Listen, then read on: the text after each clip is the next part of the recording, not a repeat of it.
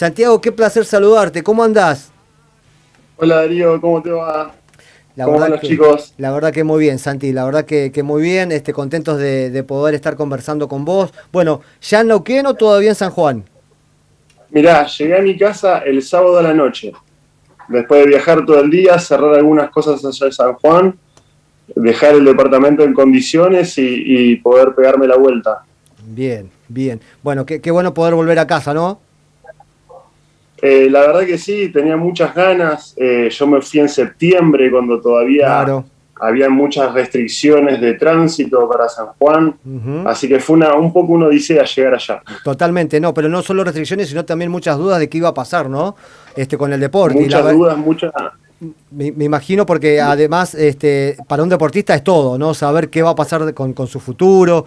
Este, y la verdad que salió soñado, ante un nuevo título. ¿Por qué no repasamos? Porque me parece que no me quedo corto cuando digo que sos uno de los jugadores, el jugador de vóley de la provincia de Neuquén con más títulos. Sé que por ahí este, te pongo en algún compromiso, pero si te parece repasamos un poco eh, juntos. A ver, títulos de liga. Eh, bueno, eh, con esta que logramos eh, el fin de semana pasado es mi tercer título de liga con UPCN. Tercer Yo título. estuve cuatro, cuatro temporadas en el club y tuve la suerte de en las cuatro veces llegar a la final. Solo perdimos eh, una sola contra Bolívar en el 2017. Bien. Bueno, son cuatro finales, tres títulos, ¿sí? Vamos sumando. A Club, Sí, Copa Club. Eh, dos copas a club, dos copas a club, la del 2014 y la de este año. Este año también pudimos hacer la Copa Club. Claro, cierto. Así que muy, muy contento también por eso. Van cinco ahí. Eh, Van cinco. A ver, eh, ¿algún- ¿el sudamericano? eh, un sudamericano, eh, el oro sudamericano en el año 2015 en San Juan contra Sada Cruzeiro, que es uno de los mejores equipos del mundo. La verdad que un sueño poder vivir esa experiencia. Eh, ¿Del mundo al- algún título de, eh, del eh, podio mundial? Bueno, ese, ese campeonato sudamericano en San Juan nos dio Claro, el la plaza pasaporte. al año siguiente en el Mundial de Clubes, Exacto. que también se jugó en Brasil, eh, y salimos terceros. Logramos el bronce, que también histórico para el club. Eh, ningún equipo de, de Argentina antes en la historia había logrado un tercer puesto en un Mundial de Clubes, así que es un, un torneo que lo juegan los mejores equipos del mundo y fue un sueño también eh, podido ser parte de eso. Bueno, no nos quedamos, no nos quedamos cortos y decíamos, y debe haber alguno más, Santi, No, por no ahí, ¿no? Y, y debe haber alguno más dando vuelta por ahí, algún título con el Y, seleccionado, juvenil. Sí, también eh, eh, un subcampeonato eh, en el Sudamericano 2016 y el bronce del Sudamericano 2017. Bueno. Son eh, lin- lindas experiencias que me tocó vivir con Totalmente. A ver, eh, porque acá teníamos la duda con, con Pablo. Pablo me dice, eh, Santi es de, de Centenario, yo tenía alguna duda. ¿Por qué no nos no, no hacemos un, un raconto, Santi? Porque te preguntaba también el otro día eh, esto, ¿no? Este, esto que termina siendo casi lo que pasa muchas veces con los jugadores. Un poco acá en Neuquén, en Gigantes, otro poco en UPCN, un poco en Europa, otro tanto por otro lado. ¿Por qué no nos haces un raconto cómo arranca de joven tu vida deportiva acá en la, provincia? Eh, bueno, si te tengo que mm, hacer un resumen, eh, yo mm, cuando cumplí 15, 16 años no estaba sin hacer nada, digamos, jugué al básquet de los 5 a los 15 años y en esa época de rebeldía, de no querer perderme más fines de semana eh, con mis amigos, me la pasaba en el club desde chiquito, ¿En ADC estamos Eh, hablando? nada. ¿Dónde estamos hablando? en el ADC, En ADC, en bien. el ADC. Bien. Eh, bueno, una, una vez estaba en el gimnasio de pesas y me vio el técnico en su momento, Ariel Jiménez, Claro, al que le tengo un gran aprecio, claro. y me dijo, eh, flaco, ¿por qué no, no te enganchás con nosotros al vóley, vas, probás unas clases? Y resulta que fui y fui para quedarme y no parar de, de crecer, gracias a Dios. Eh, y mi primer torneo profesional me tocó vivirlo a los 2000 en el año 2005-2006, cuando terminé el colegio secundario. Eh, jugué un TNA, que es el torneo de ascenso, Claro, sería la, claro. la Liga A2, digamos, Exactamente. eh, con la selección juvenil argentina. claro, que en ese momento le permitían para, para tener roce de alguna manera, ¿no? Exacta- exactamente. Claro. Eh, jugué esa temporada, esa temporada ahí. Al año siguiente me llaman por primera vez de Gigantes del Sur. Eh, ya, ya esto sería la Liga A1, digamos, mi primer liga profesional, profesional. Eh, y después ahí estuve un par de años como juvenil de la plantilla. Después eh, yo ya quería tener, digamos, otro roce, otra participación, otra, otra, otras experiencias. Y bueno, me, me, fui a jugar afuera, me fui a jugar a España dos años, en el cual el primer año me voy a España. Eh, era la, el torneo de ascenso español en el cual logramos ah, el campeonato, salimos campeones. Eh, ascendimos a Superliga y ese año juego en Vigo, que es la ciudad de, Galicia, digamos, en el norte, ya casi en el límite con Portugal. Mi segunda liga ahí en España, ya en un equipo de Superliga 1, en el cual logramos un quinto puesto. Y mm, después lo que pasa en Argentina, para tener más roce, digamos, la, temporada de volei eh, dura de agosto en algunos equipos ya empiezan las pretemporadas un poquito antes, pero agosto ya empiezan a arrancar la mayoría de los equipos. Y hasta marzo, abril, como ahora me tocó, eh, termina, digamos, lo que es la temporada de, Liga Nacional de Vóley.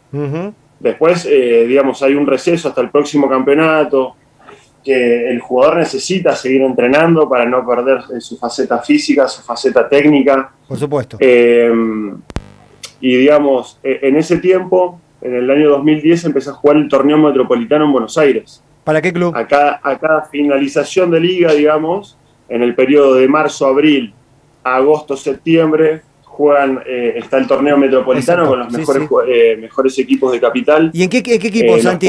¿En qué equipo hay el metropolitano?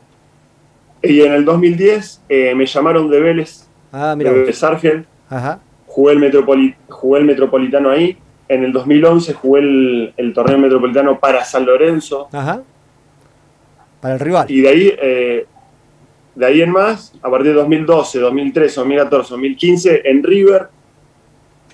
Después ahí em, empiezo con UPCN, que ya las, las temporadas empezaron a ser un poquito más largas, la carga física un poquito más pesada. Eh, jugué, mm, después de la, la primera liga con UPCN, juego en Bellavista, que es otro equipo que juega digamos, la división de honor ahí en Capital, eh, que me lo tomé más como un, año más de relajar, porque la verdad que entre un torneo, empieza un torneo, termina, empieza el otro, es como que nunca hay un parate, eh, y de las distintas provincias, o yo que, también estaba en otros países, eh, me volvía directamente a jugar metropolitano, o sea, no parás nunca, digamos, es un bagaje bastante importante. A ver, contanos entonces, volviendo a lo que pasó el fin de semana, cómo fue esta liga, porque la verdad una liga extraña desde el momento de la concepción misma de, arrancarla a jugar, los pocos equipos, sin, sin tener a gigantes, que a nosotros de alguna manera nos permitía estar conectados, sin Bolívar. Este, ¿cómo, es, cómo, ¿Cómo fue una liga típica y cómo es nuevamente poder consagrarse campeón? Eh, bueno, la verdad que mm, pese al, difícil año que nos, que nos tocó a todas las personas, eh, los, deportistas nos fuimos exentos en eso. Estuvimos siete meses sin poder entrenarnos, eh, sin poder ir a un gimnasio de pesas, que es muy importante, digamos. Y también con la incertidumbre de que varios equipos empezaban a caer por falta de presupuesto, por incertidumbre. Eh, y la verdad que me, de que me hayan vuelto a llamar de UPCN, en este año tan difícil para irse, digamos, a fuera del país. Yo el año pasado estaba en Austria, eh, jugué la, temporada allá y llegué tres días antes de que se decretara el aislamiento. Justo. El, el, heavy, el que hubo al principio de todo. Entonces, eh, la incertidumbre de no saber si volvía al país, eh, nada, está la verdad que la situación muy complicada y que haber tenido la posibilidad de quedarme al más alto nivel eh, con un PCN, digamos, me siento un bendecido. totalmente, totalmente, totalmente, totalmente. Una persona con suerte. Eh, dale, Pau. Santi, ¿cómo estás? Paola Zambuesa te saluda. bueno, recién... Bien, muy bien. Hablabas antes del tema de, los entrenamientos y nosotros que tuvimos la posibilidad de hablar con varios deportistas después de lo que fue eh, el periodo de, aislamiento, de la pandemia donde tuvimos que estar más guardados, eh, los deportistas lo padecieron de alguna manera y costó en el arranque de la competencia volver a encontrar ese nivel con el que habían terminado. Te quiero consultar cómo te sentiste vos y qué balance haces, eh, balance personal, ¿no? De lo que fue esta temporada. Sí, la verdad que si tengo que hacer un balance más que positivo, eh, como te decía hace un ratito, eh, muchos de los deportistas, muchos de los voleibolistas estuvieron seis, siete meses parados sin volver a saltar, eh, sin volver a ponernos fuerte las piernas con lo que necesita para, para estar y saltar 80, 90, 100 veces por entrenamiento. así que bueno, fue digamos una pretemporada distinta a todas las demás. Fue un poquito más larga, quizás en varias partes un poco menos fuerte, pero tratando, digamos, de llegar al punto pico de rendimiento para noviembre, diciembre. Empezamos en septiembre y fuimos muy despacio. Teníamos en el plantel había un par de jugadores de más de 30, 35 años, entonces eh, también eso, digamos, la parte física es bastante importante. Claro. Em, la última, Santi, agradeciéndote el tiempo y todo lo que el fin de semana te estuvimos molestando. Eh, ¿cómo, sigue, ¿Cómo sigue tu carrera? Digamos, ¿hay, hay algún contrato que, todavía mantiene, eh, vas a mantener con, con, UPCN? ¿Vas a buscar la posibilidad de, volver a Europa? ¿Vas a esperar a gigantes? Eh, mira, en, principio mi, mi, contrato con UPCN fue de una temporada. Bien. Eh, pero siempre tengo la, mejor relación con, los dirigentes, con el cuerpo técnico. Está claro. Es una posibilidad volver a, jugar en San Juan, sí, es una, es una posibilidad.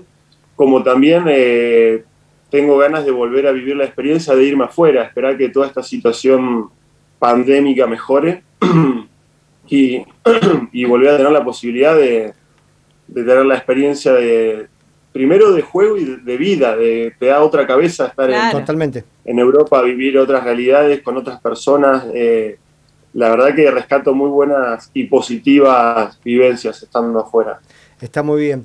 Santi, queríamos estar presentes este, en este nuevo logro tuyo, eh, la verdad extraordinaria, la, carrera deportiva, y esperando que, que, Gigantes pueda volver a jugar y capaz que podemos verte por acá este, alguna vez. Ojalá, Ojalá, la verdad que Gigantes siempre fue en nuestra casa, hay varios jugadores de, Centenario Neuquén que han llegado a jugar eh, a nivel de Liga Nacional y es una lástima que, se termine perdiendo esa plaza porque fue una de las más importantes. Seguro, seguro. Abrazo grande, Santi, la seguimos, éxitos. Bueno, abrazo grande, muchas gracias. Abrazo, Santi. Bueno, Santiago Álvarez.